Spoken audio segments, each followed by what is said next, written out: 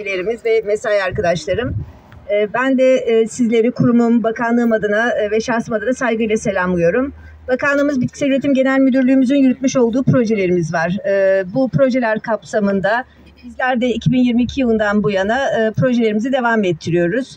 E, Bugün burada iki farklı şekilde bulunacağız. Birincisi yerli ve milli çeşitlerle yalk ayçiçek üretiminin geliştirilmesi projesi.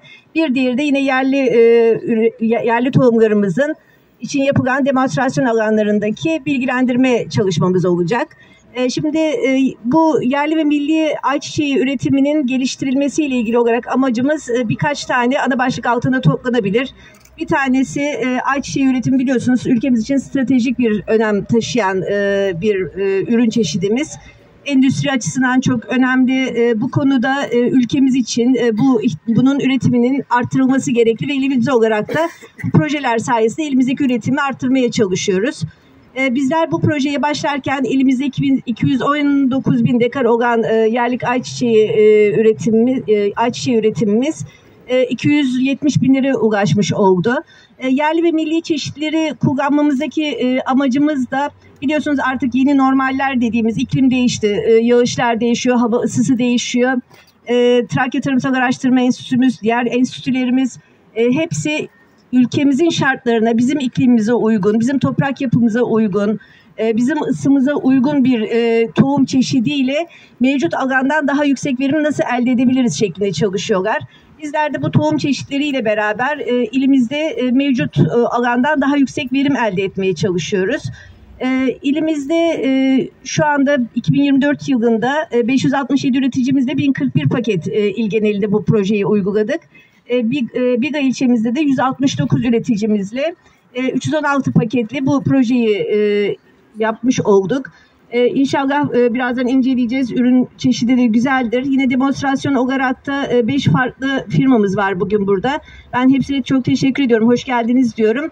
E, birazdan e, tarla başında da bu ürünlerin e, almış olduğu verim değerlerini göreceğiz. Ben hepinize çok teşekkür ediyorum. Böyle sizleri ayakta çok fazla bekletmek istemiyorum.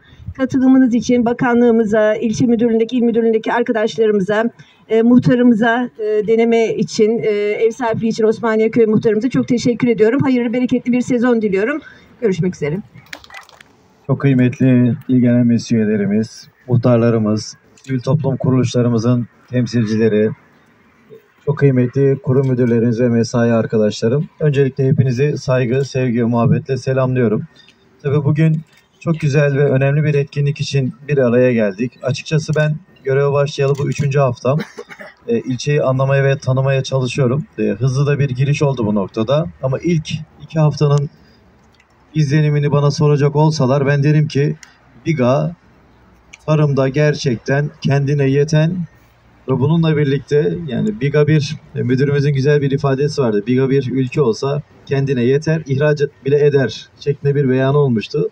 Hakikaten ben de bu görüşü paylaşıyorum. İnanılmaz bereketli topraklar E, ve bununla birlikte de e, ilgili çiftçilerimiz, tarım erbabımız bu noktada çok ciddi profesyonel hem bilimden hem teknolojiden faydalanabilen, dünyayı okuyabilen ve son gelişmeleri sıkı takip edebilen bir kültüre sahip. Açıkçası bu bizim için çok sevindirici. Çünkü tarım bizim için inanılmaz derecede ülkemiz açısından stratejik bir konudur. E, Bu anlamda da e, hem bakanlığımız hem il ve il e, yapılanmamız çok ciddi gayretler gösteriyorlar. Bunları çok yakından takip etme imkanı buldum. E, Bugün de özellikle yerli ve milli tohum noktasında ülkemiz son yıllarda çok ciddi atılımlar yapıyorlar. Sadece bu ayçiçeği için değil, birçok üründe biz artık kendi ata tohumlarımızı, yerli ve milli tohumlarımızı üretiyoruz, muhafaza ediyoruz. Çünkü e, özellikle dünyanın geldiği noktada e, bu tür faaliyetlerin önemi her geçen gün artıyor. Bu noktada biz ülkemizi hazır halde tutuyoruz. Bugün de onun en önemli göstergelerinden birini sahada görüyoruz.